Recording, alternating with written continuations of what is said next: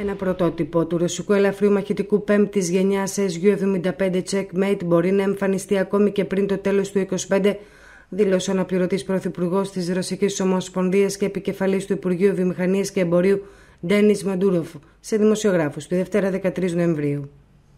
Περιμένω να γίνει πριν το τέλος του 2025, δήλωσε ο Ρώσος πολιτικός, αναφερόμενος στην αποκάλυψη του πολυαναμενόμενου αεροσκάφους της Μόσχας. Σύμφωνα με τον ίδιο, ξένοι πελάτες έχουν εκφράσει ενδιαφέρον για το ρωσικό μαχητικό τζετ. Ο Ρώσος αναπληρωτής πρωθυπουργός δεν αποκάλυψε βέβαια τις εν λόγω ενδιαφερόμενες χώρες.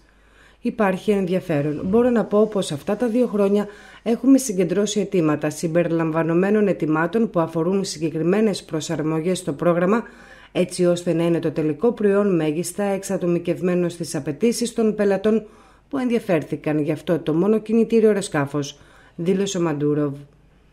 Όπως σημείωσε ο Ρώσος, οι αλλαγές που έχουν γίνει αφορούν τη διάταξη, τα συστήματα ελέγχου και τα όπλα του μαχητικού αεροσκάφου Checkmate. Ο Μαντούροφ διευκρίνησε πως συζητείται ακόμη και το ενδεχόμενο να συνεργαστεί η ρωσική αμυντική βιομηχανία με ξένες εταιρείες για την υλοποίηση του προγράμματος του JET. Καταρχάς, σήμερα αναμένουμε να ξεκινήσει η παραγωγή στη Ρωσία στο σύντομο μέλλον.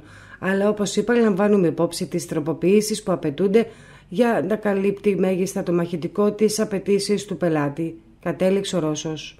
Νωρίτερα την ίδια ημέρα η ρωσική αμυντική εταιρεία Ρόστεκ είχε ανακοινώσει πως προετοιμάζεται για την παραγωγή μαχητικών jet τύπου Checkmate στη Ρωσία. Η ρωσική εταιρεία Γίγαντες ανέφερε συγκεκριμένα πως τα έγγραφα του σχεδιασμού μεταφέρθηκαν ήδη στον κατασκευαστή του αεροσκάφους. Η ρωσική United Aircraft Corporation είχε ανακοινώσει στις 17 Ιουλίου φέτος την ανάπτυξη τριών νέων τροποποιήσεων για το SU-75. Αρκετές πατέντες είχαν υποβληθεί την τότε περίοδο. Υπάρχουν νέες αναπτύξεις για διαφορετικές εκδόσεις του αεροσκάφους, οι οποίες περιλαμβάνουν μειωμένη διατομή ραντάρ για προφίλ χαμηλής παρατηρησιμότητας, μία έκδοση χωρίς πιλωτήριο και μία διθέση έκδοση παρόμοια με αυτή του ρωσικού μαχητικού SU-30.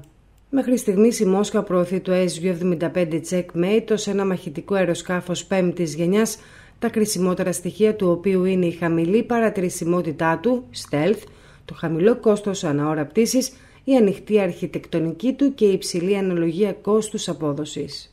Ευχαριστούμε που μας παρακολουθήσατε.